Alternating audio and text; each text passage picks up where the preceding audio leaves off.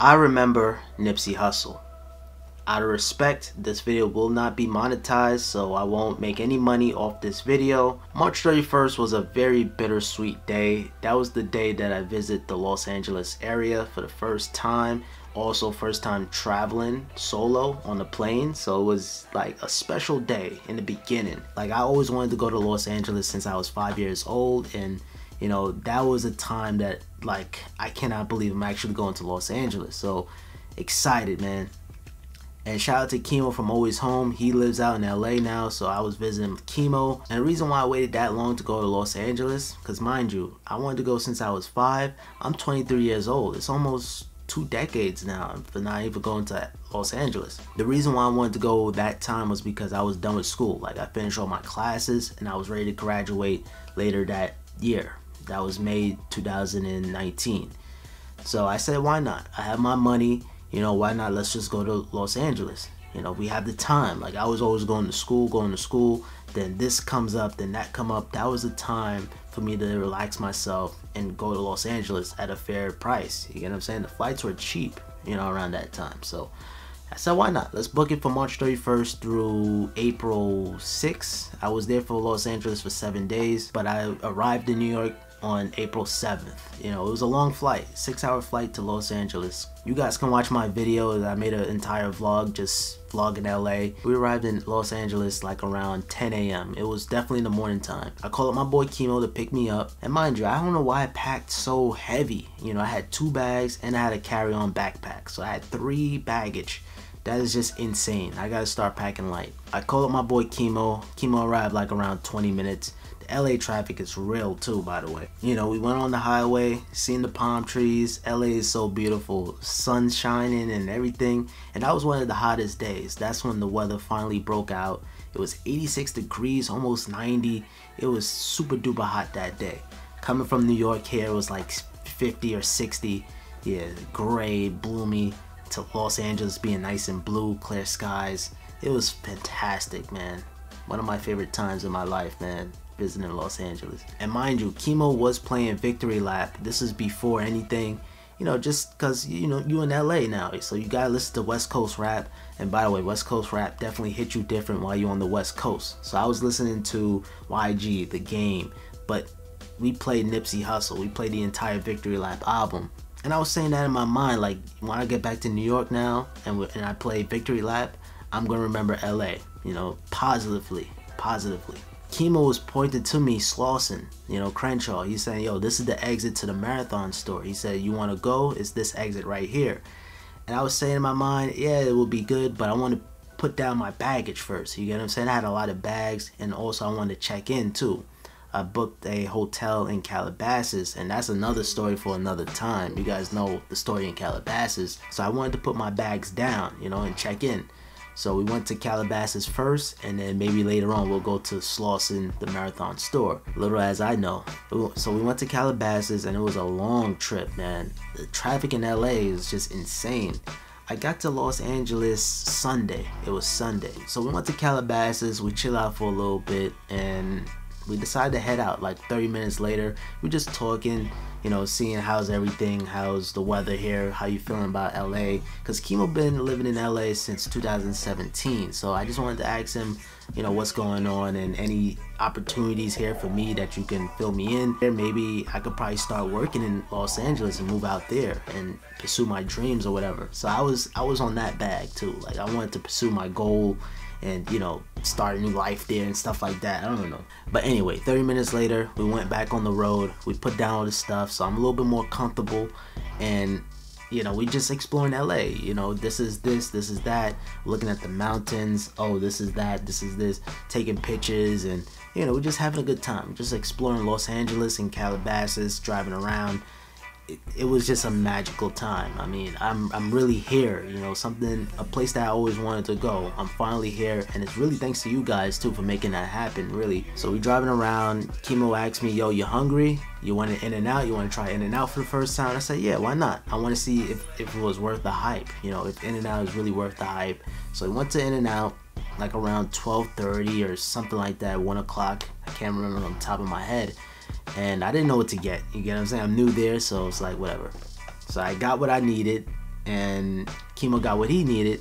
I paid too. I paid for chemo and paid for my food. You know, chemo driving me around, he's showing me around, so that's the least I can do. Um, I didn't have to say that, did I? So we sitting down, we on Twitter, we checking social media, and we saw that Nipsey Hussle got shot. And man, it really killed off the vibe. I mean, it really did. Once we found out that that news, you know, we was saying that, yo, I hope Nip can fight this. You know I mean? Hopefully Nip will be all right, man. Hopefully he can push this. You get what I'm saying? Stay strong. So everybody on Twitter saying, pray for Nipsey Hussle, pray for Nipsey Hussle, pray for Nipsey Hussle. And I'm like, man, I, I really do hope that he can recover from this. You get what I'm saying? And Chemo was basically saying the same thing. Like, man, because you guys understand, if you watch Always Home, we watch, uh, you know, a lot of Nipsey Hussle interviews and, and we talk about Nip too a lot. And, you know, we, we respect Nipsey Hussle here, man. And I respect him. I respect his hustle. I respect his grind. And he was more than just a rapper. He was a father. He was an entrepreneur. You get what I'm saying? He inspired millions of people around the world. And, you know, we lost a really, like, that's sad, man. So we eating In and Out, and I was saying to Chemo like, "Yo, this is this is overrated. Like this this In and Out burger is a little overrated." So all right, we finish eating, we finish eating, and we keep on talking about this nip thing. So we decide to go back to Calabasas, go back to the hotel, and right when we get into the highway to get back to Calabasas, or the freeway, whatever, that's when Nipsey Hussle was pronounced dead, and psh, I literally dropped my phone like on my lap. And I just cannot believe, you get what I'm saying, somebody would really take his life away like that, man. This dude was a really, he was a good dude, man. Like, he was more than a good dude, man. Like, how can you take that away? And fun little fact, the track that played next was Last Time That I Checc'd. Last time that I checked, it was five chains on my neck. You know, that's when me and Chemo was playing. It just happened to land on that track. Chemo decided to turn up the music a little bit, you know, blasting it a little bit, and man, it was just devastated along. It was just like sad, man. I almost shed a tear. You know, I'm not really a, a cryy person, but I, I, I legitimately shed two tears, like right here. Like I just couldn't believe he was dead, man. man, RP to the great Nipsey Hussle, man.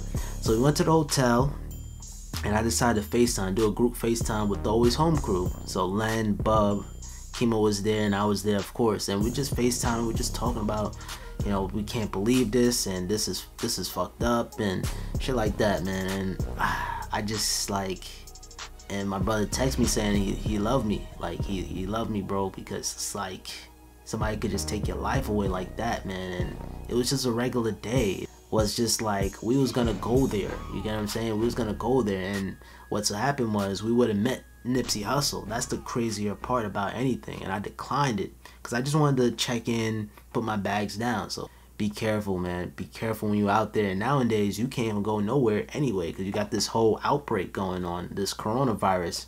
And to this day, we still like we still trying to, you know, stay strong. It's just it's something that that hurts. You get what I'm saying? And it's the whole world, the worldwide took a L that day, and you know what I'm saying? That's why March 31st was a bittersweet, sweet and sour day, just because of the whole passing of Nipsey Hussle. Another thing too that died that day was AirPower. Apple's AirPower. Apple decided to discontinue that altogether. It was just a weird day. It was a weird day. Um, happy in the beginning, sad towards the end, and it was it killed the whole vibe for the day. But I still had a good time, low key though. Despite that happening, which is which is pretty crazy, I still had fun that day, and that that was my Nipsey Hussle day, man. That's what I did that day. Um, Los Angeles is beautiful, um, but it's just too dangerous out there, man. I just can't I don't I don't I see myself living there and I see myself like working with a lot of great awesome people there but at the same time I just can't I, I, I just it's just too much going on out there man and it's too much going on in the world in general so it's like yeah I don't know man but that was my Nipsey Hussle story devastating man devastating we was gonna go there and possibly even meet Nipsey Hussle that day crazy man and that was the first day in Los Angeles, the first day ever in Los Angeles. But I'm curious to know uh, what was your like where were you when Nipsey Hussle passed away? Like I'm just curious to see where you guys were at, you know, around that time. It would have been cool. It would have been so trill if you'd have won that Grammy. Um, but that was a good that was a good year for hip hop too because Travis Scott was nominated, Nip got nominated, Pusha T got nominated, Cardi got nominated. You know, it, they all had great albums. Um, but yeah, it would have been really nice to see Nip seeing his first award for the first time. That would have been really cool. I appreciate you guys watching this video. Um, I truly, duly appreciate it. Truly, duly, truly, duly. and yeah, until next time, guys. Stay simple, stay hustle, stay motivated. The marathon continues.